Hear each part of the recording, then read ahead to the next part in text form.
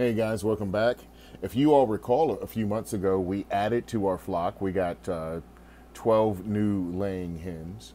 And these laying hens uh, have been integrated into our new flock.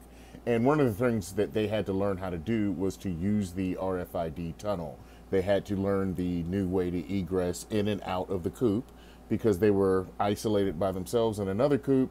And now that they're integrated with the flock, they all got RFID tags. So uh, I have spent uh, some time today here reprogramming the system and adding uh, the new birds um, to the system and um, tagging those birds.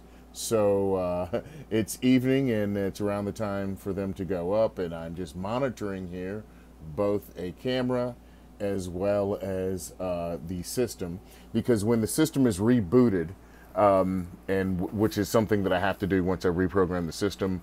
Um, there's a, um, a, reboot to you know put the new system into the new microcontroller, uh, the new program. I'm sorry, into the microcontroller.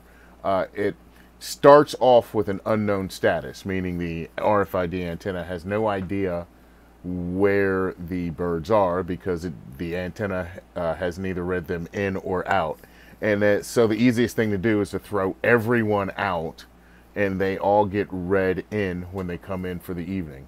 So in the meantime, there will be birds with the status of unknown, and that means that those birds uh, have yet to be picked up by an antenna.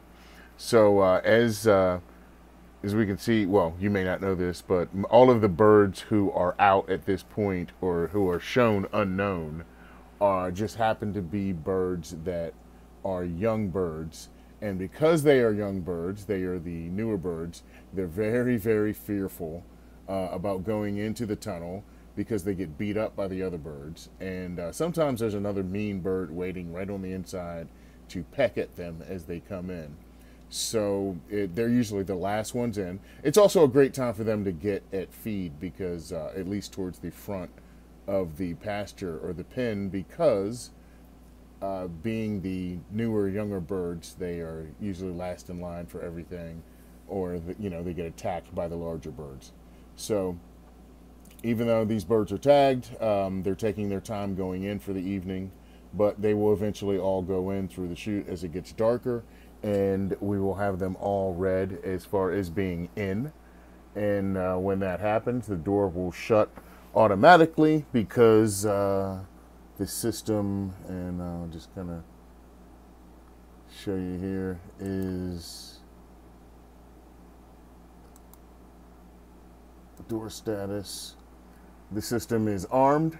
Um, so once the system, since the system is armed, but it shows here that some hens are out.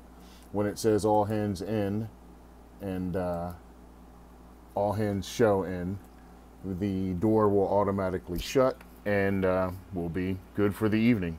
It'll also turn off a few lights as far as the, uh, it's kind of hard to see right now, but there is a light over the uh, overhang.